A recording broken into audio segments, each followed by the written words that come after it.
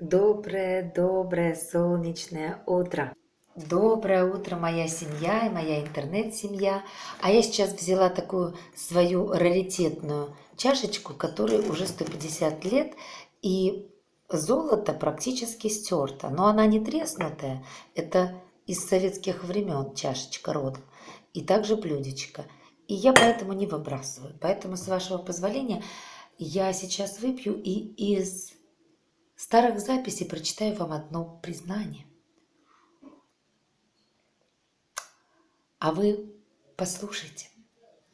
Я не могу без тебя жить. Знай, это чувство к тебе испытываю не одна я.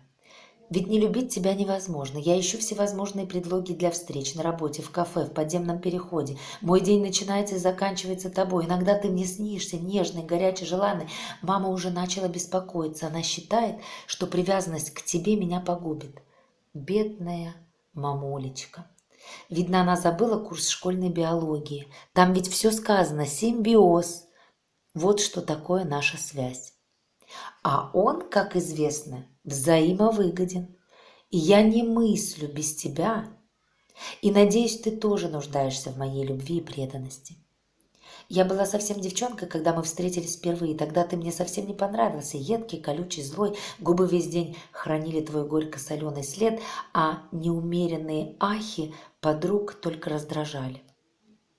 Решив не пополнять ряды восхищенных поклонниц, я запретила себе даже думать о твоих пресловутых достоинствах, но зерно уже дало свои всходы. Соблазн испытать необычный подъем и приятное возбуждение был слишком велик. Сегодня стоит мне вдохнуть до боли любимый запах, и сердце сжимается в предвкушении наслаждения и восторга. Причем абсолютно неважно, наедине с тобой или в шумной компании, где без тебя никак не обойтись. Я вкушаю тебя по капельке и расстаюсь лишь усилием воли, успокаивая тем, что завтрашний день подарит новый терпкий глоток. Иногда думаю, забрось меня судьба хоть на необитаемый остров, но если со мной будешь ты, жизнь мне покажется раем. Смешно, но всех мужчин я условно делю на две категории – жгучих, страстных, как ты, и приторных, как молоко с пенкой. Хотя, признаюсь, иногда твоя страстность лишает сна. Когда гулко колотится сердце, я решаю порвать с тобой навсегда.